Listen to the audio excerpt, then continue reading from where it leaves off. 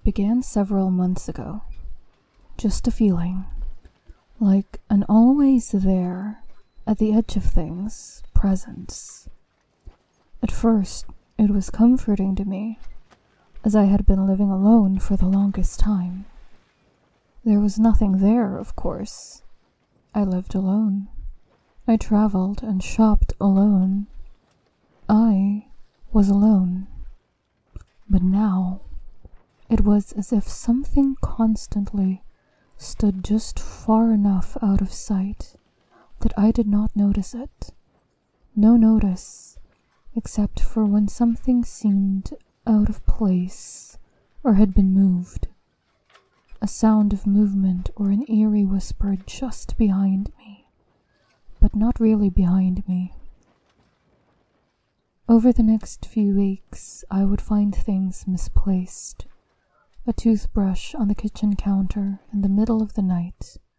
In the morning, a watch I don't remember owning on my table. A note here and there. Don't forget to water the plants. They're on the new desk. I didn't own any plants. I don't own a desk. You forgot to water them, and the fern is dead. Tossed it in the waste basket by the door. I don't have a waste basket by the door, I thought. So I went out to the living room, shaking my head, and then I saw it.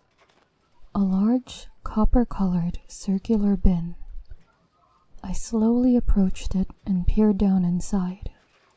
A small wilted fern rested inside the basket. There is a mirror on the back of my door. I usually make sure I've done my makeup, or that if I wake up really tired, at least my hair has been brushed. So I stand in front of the door in the morning to check before rushing out. Sometimes I drink a little bit much and it helps me not to go out looking like a total mess. Suddenly, I cover my mouth, startled by what I'm seeing. In the mirror is the reflection of another mirror, and in that mirror, I can see a large desk. On the desk is a collection of plants. In my apartment is a large desk, and on the desk is a collection of plants. I blink my eyes for a moment and step back anxiously, my heart beating rapidly in my chest. But the moment I look back at the door, there is no waste basket next to it, and in my mirror, no reflection from another mirror.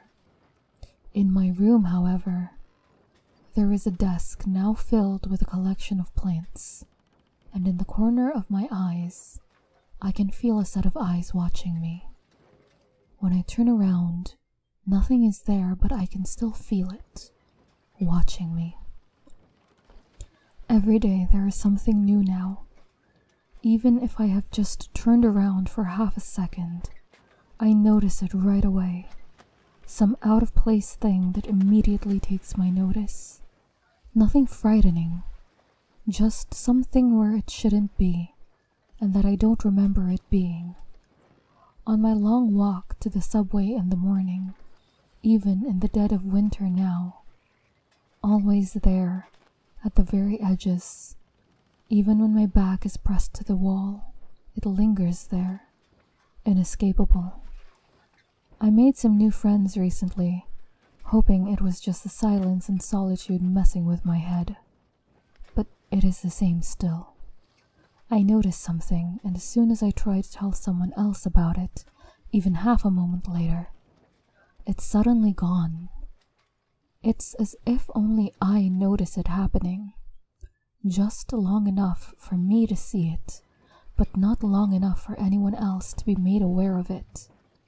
Yesterday, I showed someone a few of the things I have found misplaced in my apartment hoping they wouldn't see them and I could come to terms, perhaps, with my growing mental illness.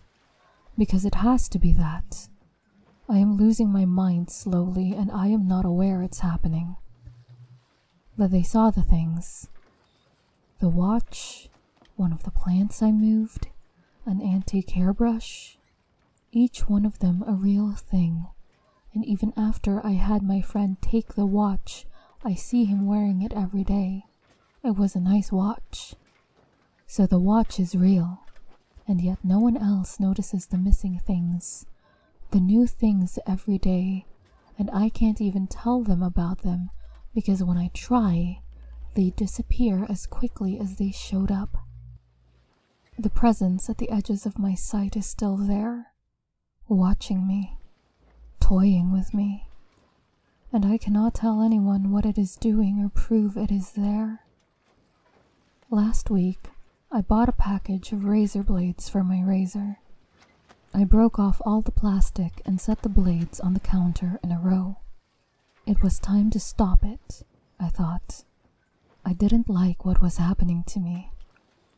I turned for a moment to run the water in the tub, to relax before I did what I felt I had to do to make it stop.